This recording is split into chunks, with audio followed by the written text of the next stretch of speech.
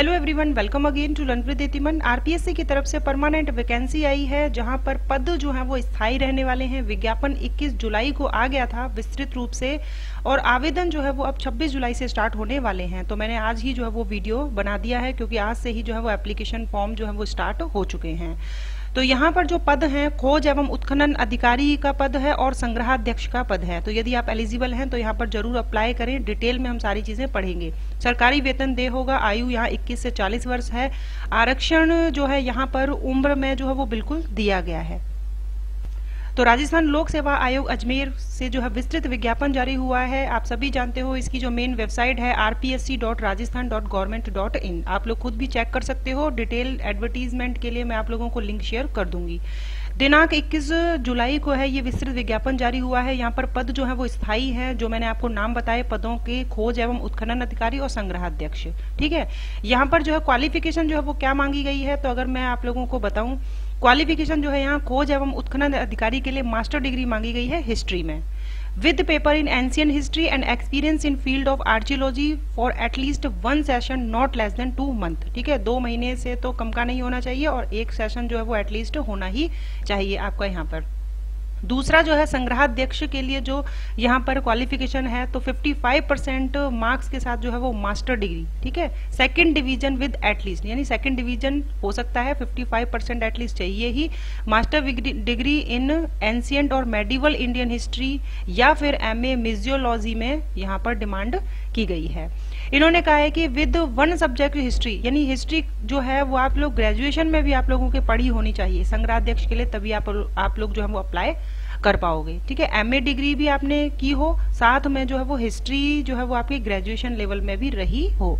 ये तो हो गई आपकी क्वालिफिकेशन यहाँ पर कहा गया कि जो लास्ट ईयर का स्टूडेंट है, जो भी ये एजुकेशन क्वालिफिकेशन पूरी कर रहा है तो लास्ट ईयर का जो स्टूडेंट है, चाहे वो परीक्षा में शामिल होने वाला है, ठीक है? तो वह भी यहाँ पर अप्लाई कर सकता है। लेकिन एक शर्त है कि उसे आयोग द्वारा आयोजित लिखित परीक्षा से पहले शैक्षणिक अहर्ता, यानी जो क्वालिफिकेशन है, वह पूरी करने का सबूत देना होगा। आपकी मार्कशीट जो है वो आ जानी चाहिए। जब आपका जो है इसका एग्ज़ाम होने के बाद रिज़ल्ट आ जाता है, उससे पहले आप लोगों के पास मार्कशीट होनी चाहिए।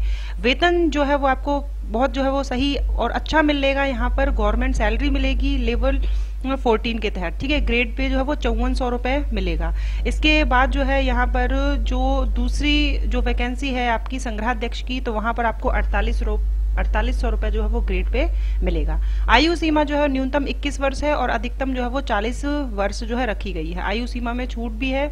जैसे कि राजस्थान राज्य के एस सी पिछड़ा वर्ग, आर्थिक रूप से कमज़ोर वर्ग के जो पुरुष हैं पुरुष को यहाँ पर जो है मिल रही है पाँच साल की छूट। वहीं पर सामान्य वर्ग की महिला जो है, उसको भी पाँच साल की छूट मिल रही है।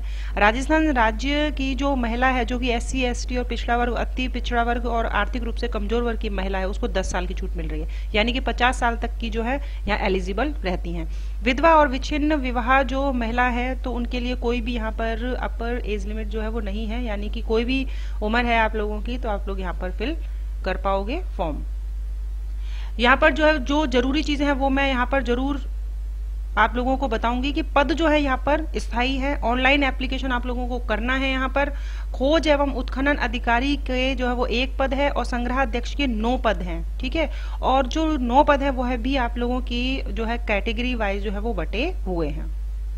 यहाँ पर जो एक कमेंट आया था एक स्टूडेंट का कि एक जो स्टूडेंट है वो दिव्यांगजन है तो दिव्यांगजन के बारे में जो भी लाइन होती है एडवर्टीजमेंट में तो वो मैं मिस कर देती हूँ, नहीं बताती हूँ।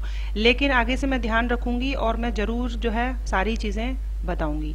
राजस्थान राज्य के पिछड़ा वर्ग, अति पिछड़ा वर्ग और आर्थिक रूप से कमज़ोर वर्ग के आरक्षित पदों हेतु पात्र उपयुक्त अभ्यर्थी उपलब्ध नहीं होने पर ठीक है, जो भी आरक्षण है, जिस भी कैटेगरी को अगर वो उपलब्ध नहीं होगा तो उसे सामान्य प्रक्रिया द्वारा भरा जाएगा। यानी जनरल कैटेगरी के द्वारा उसको भर दिया जाएगा। राजस्थान दिव्यांगजन अधिकार अधिनियम 2018 के अनुसार, जहाँ किसी भर्ती वर्ष में कोई रिक्त, उपयुक्त बेंच मार्क निशक्त जन की अनुपलब्धता के कारण या किसी अन्य कारण से भरी नहीं जा सकी हो तो ऐसी रिक्ति आगामी भर्ती वर्ष में अग्रेषित की जाएगी। ठीक है तो यहाँ दिव्यांगजन अधिकार अधिनियम के अंतर्गत ये लाइन लिखी गई है।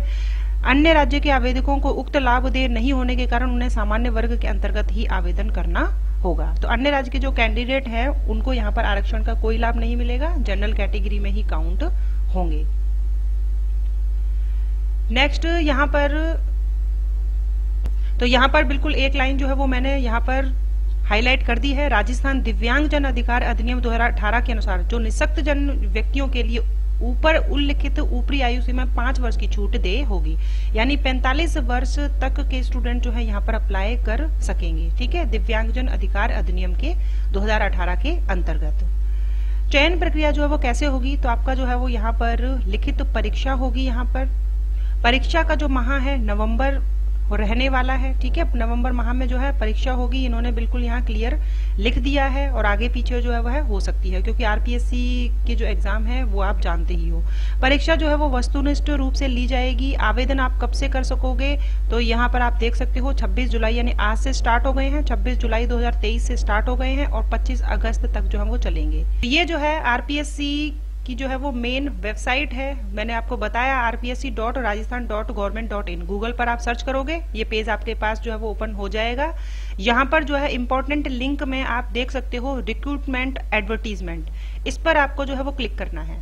जैसे ही आपने इस पर क्लिक किया तो आपके सामने जो है ये डिटेल एडवर्टीजमेंट आ गई। ठीक है? और इसमें जो है, जो दो नंबर पेज है, छह नंबर की पीडीएफ फ़ाइल में जो दो नंबर पेज है, उसमें आवेदन की पूरी प्रोसेस जो है, वो लिखी हुई है। इसको आप ध्यान से जो है, वो पढ़ेंगे और उसके बाद जो है, वो एप्लीकेशन करेंगे। बाकी चीज़ें भी आप डिटेल में ज़रूर पढ़िएगा, क्योंकि आप लोगों को ही आवेदन करना है। कोई भी मिस्टेक नहीं रहनी चाहिए, क्योंकि जब मैं आप लोगों को एडवर्टीजमेंट पढ़कर सुनाती हूँ तो मोटी मोटी चीज़ें आप लोगों को यहाँ पर बताती हूँ। यहाँ पर जो है, आप लोगों की फ़ीस जो लगेगी, वह कितनी लगने वाली है? तो सामान्य जो वर्ग है, उसकी जो है, वो छह सौ यहाँ पर लगेंगे। आरक्षित वर्ग जो है एस सी एस टी पिछड़ा वर्ग नॉन क्रिमिलियर अति पिछड़ा वर्ग नॉन क्रिमिलियर इनकी चार सौ रुपए फ़ीस है। आर्थिक रूप से कमज़ोर वर्ग का जो अभ्यर्थी, उसकी चार सौ रुपए फ़ीस है और दिव्यांगजन। ठीक है? तो दिव्यांगजन जो स्टूडेंट है, उनके चार सौ रुपए यहाँ पर लगेंगे। डेढ़ सौ मार्क्स आपके डेढ़ सौ क्वेश्चन जो है, यहाँ पर पूछे जाएँगे। ढाई घंटे का जो है वो आप लोगों को समय मिलेगा। ठीक है? तो ये सारी चीज़ें मैंने आप लोगों को डिटेल में बता दी।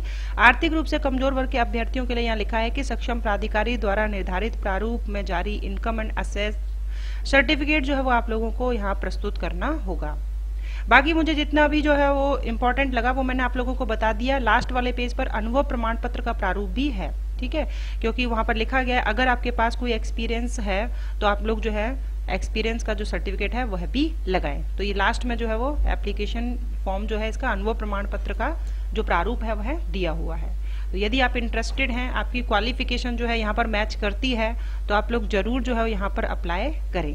ठीक है? बहुत अच्छी जो है वो पोस्ट है। यहाँ पर पद जो है वो बिल्कुल स्थायी है और यह लिखा गया है कि पदों की जो संख्या है, उसे आगे जो है वो कमी या बड़ी जो वृद्धि है, वह की जा सकती है। तो 26 जुलाई से एप्लीकेशन स्टार्ट हैं, आज से स्टार्ट हैं, आप अप्लाई करें। Thank you